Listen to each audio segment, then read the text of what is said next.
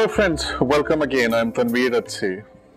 We'll be discussing modern Indian art and the idea of indigenous contemporary. As we have been discussing the notions of modernism, the cultural foundations that ultimately shaped the idea of modernism, the artistic movements that are associated with the modernism. And in Indian context, we saw the rise of modernism in the early 20th century during the colonial rule in India. Now, in this lecture, we'll be talking about multiple ideas, multiple strands. What do we mean by indigenous? How was indigenous perceived by the Indian artists? What do we mean by contemporary? Uh, how was the idea of contemporary looked at by the Indian artists as well as theoreticians? My motto also in this lecture is to acquaint you with the theoretical considerations and the problems of Indian art historical discourse in order to propose parallel frameworks or new frameworks. Do we still consider the Western notions of art after 20th century when we have come to 2015, more than 100 years of modern art in India, with the ruptures and changes it underwent, with different movements, initiatives initiated by the collectives, the discourses that are being put play that are, the discourses that have been put into place, the methodologies, the prisms, the perspectives, the vantage points from and with which Indian art has been put into theory by the scholars as well as art historians.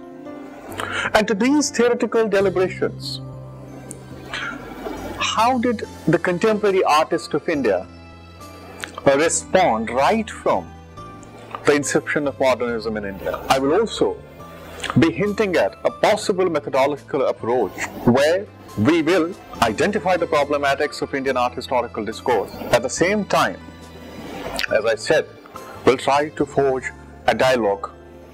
We'll try to propose an alternative conceptual framework to look at the Indian art from an indigenous perspective. Now, when we see Indian art in the beginning, in the early 20th century, when the Victorian nationalism we have been talking about in previous modules was in vogue, and a new kind of sensibility was instilled and propagated by the British art enthusiasts and theoreticians, including the artists who visited India. And then, when Indian artists felt the need of identifying themselves as the heirs of Indian artistic tradition, rebelled and revolted against a vocabulary that appeared at certain junctures alien to them, and also with which they found new, they found no or less connection. Now, here, again, when we look at the discourse of art history in India, with the advent of 19th century colonialism in India, the 19th century art history also was extended to the subcontinent. The foundations of art history as a discipline, as a stand-alone discipline, were laid down by German art historian John, Winckelmann, John Winckelmann in 19th century. Winckelmann exactly looked back to his predecessor, Vasari of the Renaissance times, who, who had written biographical accounts of the artists and architects who were active during the period of Renaissance in Europe, especially in Italy. These foundations leave no scope, no, these foundations leave no or less scope for the incorporation of narratives that fall out of the ambit of European notions of art. Now, how do we classify? How do we write down the history? Or how do we look at the Indian artistic practice when one talks about art in the realm of history is a question that we'll be dealing with right now. Unlike the West, where the history of modernism is seen in conjunction with avant garde, the non Western modernisms, which were imposed on the countries Britain colonized, to implement a Eurocentric, essentially Victorian, cultural criteria to value the other cultures require different frameworks and perspectives which do not necessarily see them as linear, monolithic, and completely a Western phenomenon. It's not easy to plot a straight line from 19th century to what became known as Indian modern art and its projection in the cultural map of the world, unlike we do in the West. From 19th century onwards, art history homogenizes the artistic practices by drawing a straight line from enlightenment to modernity. It's not possible in India because of the cultural as well as the social diversity. Historians of art and culture are yet to equip us with the conceptual frameworks with which one can approach the domain of modern Indian art to explore and reconsider the circumstances and developments that encouraged and provoked Indian artists to look back at their own traditional practices and come up with alternative ways of responding to a selective idea of modernization, which was embedded deep within the bourgeois ideology of the colonizer, the British. The evolution of modernism in India immediately and essentially tinged itself with nationalism in the late 19th and early 20th century, which defined the tradition as a resistive approach for decolonization to set the claim for contemporary, which we see in the art of Abanindranath Tagore, which we see in the art of Nandalal Bose, which we see in the art of Jamini Roy, and so on and so forth. Needless to point out the paradox here. The role model for this revivalist gesture was the idea of European Renaissance and rediscover the idea of identity and project it on the world cultural map. The European artist of Renaissance looked back at the Greco Roman artistic traditions for the source of inspiration. Similarly, in India,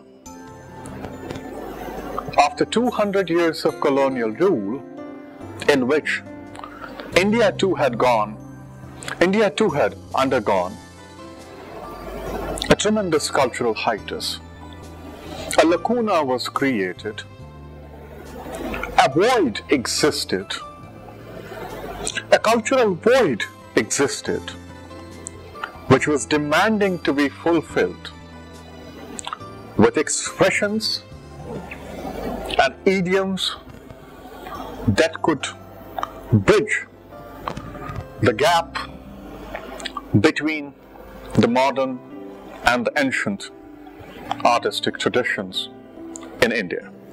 But what segregates, differentiates post Renaissance Western realist artistic tradition from that of Indian artists who were heirs of several artistic traditions is the assimilation of Western modernism and the traditional artistic dynamics, which ultimately resulted, which ultimately resulted in a double-edged manner. The traditional Indian artist set to claim an individual modern identity for themselves and reconsider the ways traditions were looked upon. But ironically, we are yet to liberate ourselves from this double edict of colonial hangover in terms of the historical narratives. That is to say, that historians of art inform us that until 19th century, the cultural hegemony of the West had not found its feet within artistic traditions of India. It was struggling to come to a consensus with the Indian artistic traditions in order to reconcile with the vocabulary that was alien to it. The aesthetic sensible of the West was until then received with a scant interest by Mughal court painters of 16th century. Western academic style of painting was adopted as a contributing factor to the Mughal style of painting, which only borrowed certain aspects of it. With the establishment of their rule in India, and in order to establish and impose an aesthetic hierarchy, the British colonizers transformed the hitherto non hierarchical relationship of India and the West into a hegemonic one. Their aesthetic principles, however, had emerged and transformed the religious image of the West into an art object with the advent of museum in 18th century. As historians, critical as critical discourse of art history in the West, which has surfaced for over the last 20 years, tells us that before the 19th century, when the principles of aesthetics were laid down by Baumgarten,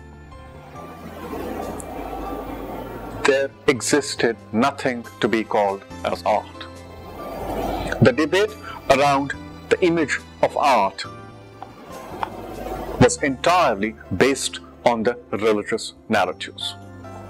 Therefore, their art was merely a century old when they came to India.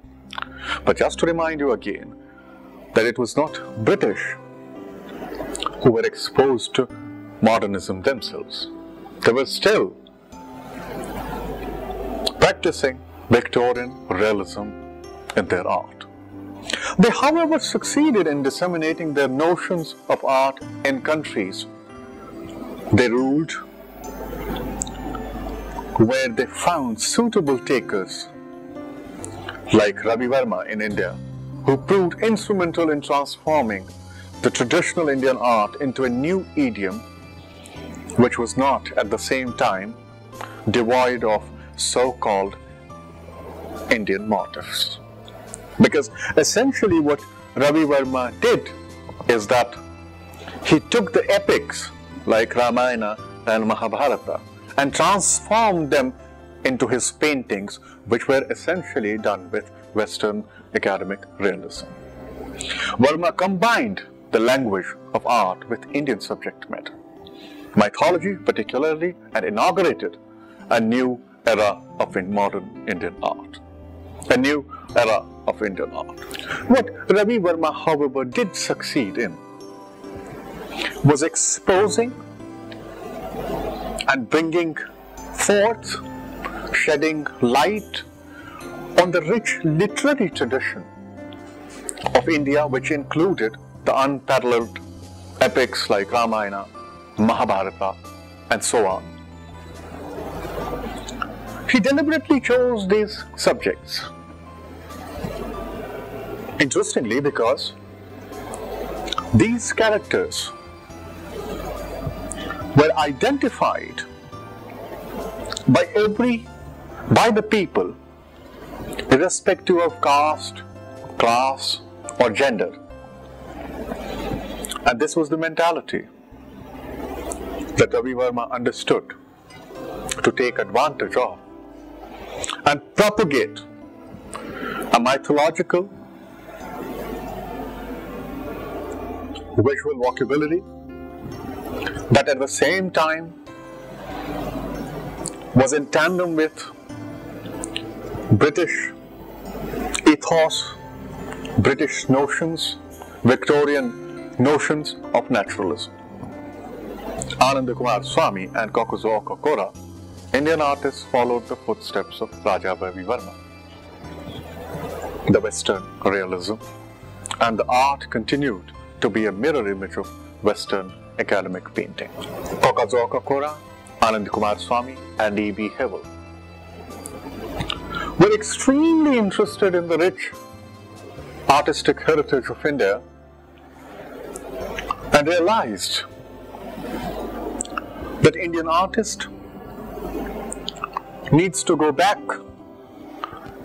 and subscribe to the traditional idioms of painting and sculpture in order to derive inspiration which could be which could at the same time suit his sensibility and with which his people, the audience, would find a connect.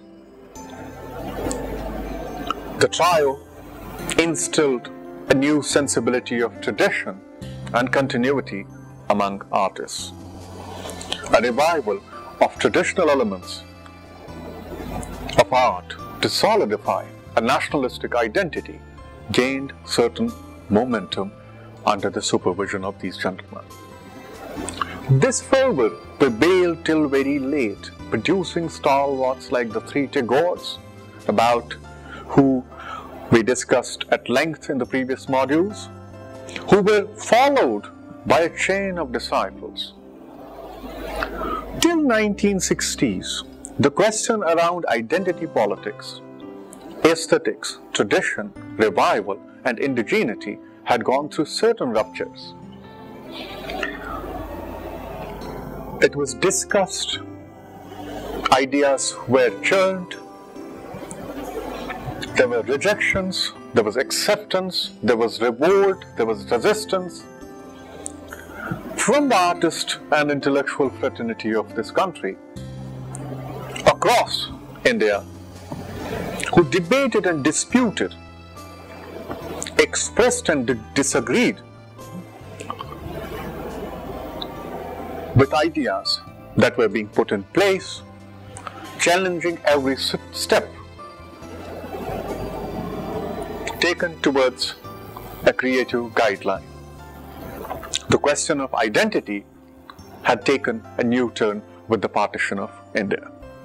As we saw with Delhi Shilpi Chakra,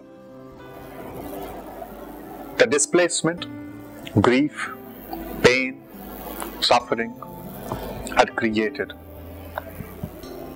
a considerable amount of impact on the minds of artists of India. But what it did was something very essential. That with the partition of India, now India had to redefine again its identity. First of all, as a country on the world cultural map, and secondly, as a democratic country. A new set of questions around Indian modernism gained momentum. And the proponents of this ideology this time dispensed with the nationalistic notions of their predecessors and instead focused on conceptual frameworks, which they proposed should be derived from traditional artistic practices. A new notion of international art with indigenous character began doing rounds in the artistic and intellectual circles of India. Artists began to move from their earlier styles to new expressions which were firmly embedded in their cultures. Two of the foremost proponents of this ideology were painters G.R. Santosh and Biren De. These two painters, unlike their predecessors and contemporaries, carved a new way out for them. They went into the spiritual traditions of India. Let's have a look at Santosh's life. As an extraordinary artist, Santosh's contribution to the world of Indian art is unparalleled. But the beginnings of his career as an artist were very humble. Let's have an overview of Santosh's evolution as a tantric painter. Not many within and outside the bounds of art field would know that Santosh was his beloved wife's name. His family given name was Ghulam Rasool Dar. Born in 1926 in a materially humble family in Srinagar, Kashmir, Santosh very early displayed a profound talent for figurative art. To secure his bread and butter, Santosh learned paper mache in the rich environs with skilled artisans. He also tried his hand in signboard painting to earn a livelihood. Then, by the dint of sheer hard work, he made it to Baroda for further training under the famous N.S. Bendre at the infamous MS University Faculty of Fine Arts. In the beginning, Santosh painted in Cubistic and Impressionistic styles. Those were the styles which he inherited from his master, Bendre. His paintings depicted landscapes and townscapes with quaint houses and the little narrow lanes of his native town, Srinagar. Looking at his artistic journey from 1957 to 1964, a straight line could be drawn, marking the years of growth of a self imposed discipline and apprenticeship. From impressionist to cubist and then a naturalist, naturalist, Santosh appears to be a restless artist in search of an individual style and subject for his artistic expression until he reaches to a point which he then explored throughout his life as an artist. To quote Santosh, to quote Santosh, he says, I did a series of drawings wherein man and nature mingled, even formally as a unified image concept, which I suppose could serve as a link. It's true, however, uh, true, however, that something significant happened to me during 1965, which was partly of a spiritual nature and partly as a result of my awareness of art both here and then in the West. Unquote. If one is to divide Santosh's life into phases, three phases could be suggested.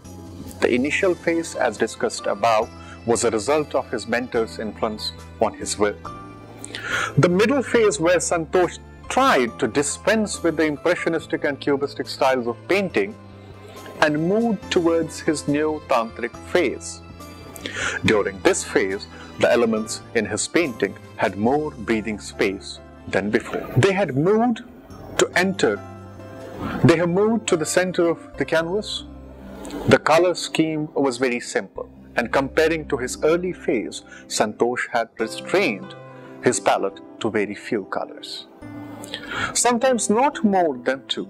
His later phase saw an extreme upsurge of geometric constructions, which you can see on your screen in his paintings. In his third phase, Santosh began by creating geometric arrangements in his paintings. His early geometric shapes had direct resemblance with male and female bodies interwoven together. Gradually, his painted surfaces started appearing more populated and the geometric construction began to look more elegant, transcending the figurative semblance to a more expressionistic abstract painting. Instead of focusing on formal and optical explorations, Santosh transformed his canvas by intermingling of triangles, elaborations of triangles into hexagons, complicated expansions to develop equilibrium and balance in an ingenious manner to create an infinite web of formal configurations. The development of perpendicular, flat, slant, spherical movements to create a set of lines and forms that establish all the inert and kinetic sequences in the geometric configurations and designate them as formative quality of a united organic whole in a variety of color schemes. A momentous creation of his inner eye. The forms of his art are the forms of his consciousness and aspirations, his actual qualities as a painter, his sensitivity of geometric construction, his sense of color and form have always been superb. His qualities as a painter and the harmony with which he executed his colors and forms remained unmatched throughout his lifespan as an artist. Santosh, as an artist thinker, belonged to a generation of artists who questioned the concept of modernism and progress and therefore distanced themselves from revivalist concepts and stressed on the notion of contemporary. For them, the idea of contemporary would essentially entail indigenous characteristics. They were vocal proponents of what in recent terminology could be called as the idea of global. The combination of global and the local. For them, the Western model of art had not proved a vital source of Indian avant-garde. Santosh's approach to art echoed this concern in its entirety as above statement underscores it also. Biren De, born in 1926, is commonly known as a tantric painter, although he disagreed with this observation and refused to consider himself as a cult painter. His essential objective in his art was to discover the true nature of things, of self realization and identification with the nature. His paintings possess a visionary quality in terms of transcendental concept of life. The forms are based on the principles of radiation, multi-petaled, flower-like forms in their myriad manifestations. They are the images of energy that activate life, rendered in brilliant, glowing colors with a wonderful sense of compositionality. Biren paintings are images of metaphysical introspection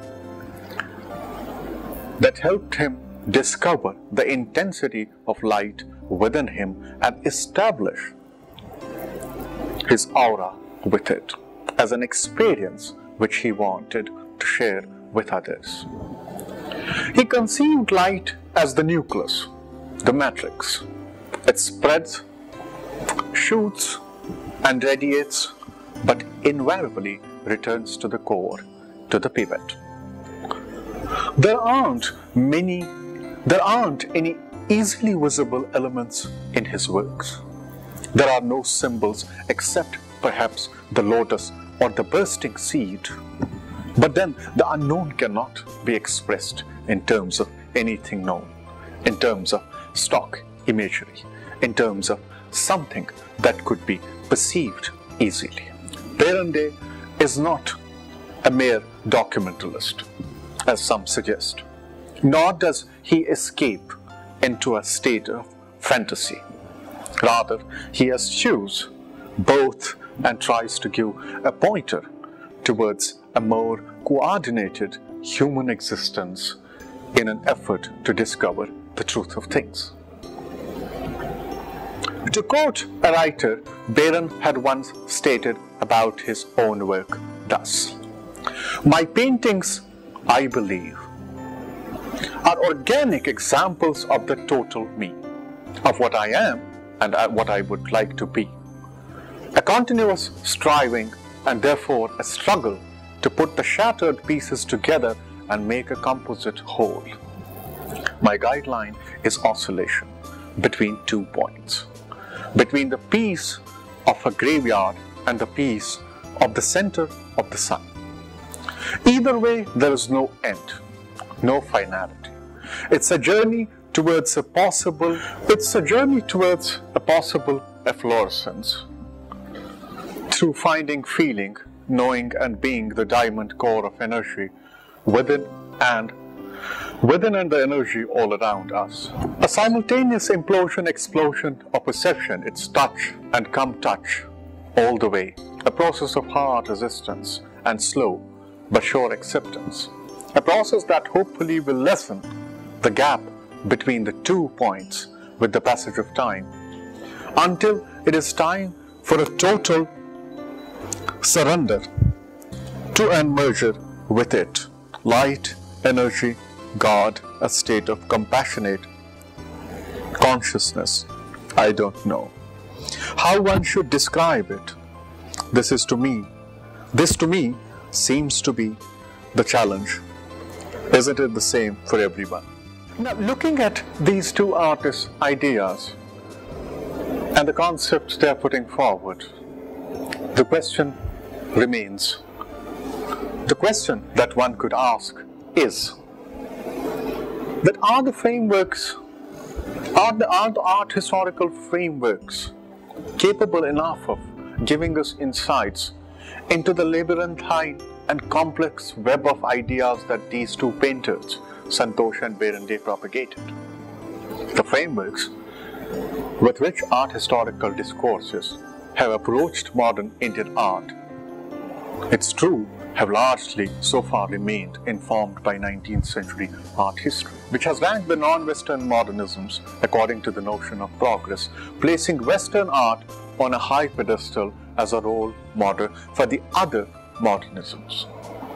Its methodologies have stressed on the stylistic affinities and influences of other modernisms with that of European concept of modernism. One of the major problems that has plagued the study of modernism in art in general has been its falling back on Vasarian model of art history with its rectilinear and narrow framework which does not accommodate new discourses on modernism that shaped up outside the West. As you are students of visual art, you might find it interesting to look at the practice and the discourse together and see at what point they come together, they intersect together, they intermingle together to speak with each other. At what point does the theory of Indian art or the history of Indian art speak with the practice of Indian art? Therefore, once again, it needs to be reiterated here that to study modernism in Indian art, we need to look at it from a different perspective in order to formulate concepts that will address complex modernity and regional art practices in a broader context. With this approach, we'll be able to situate the issues of artistic production and construction of a regional national identity and pre and post colonial India with diverse cultural mixtures and transactions that have nourished them. This will also help us take into account the concerns and issues which artists such as Santosh and Biren De and others tried to address through their pen.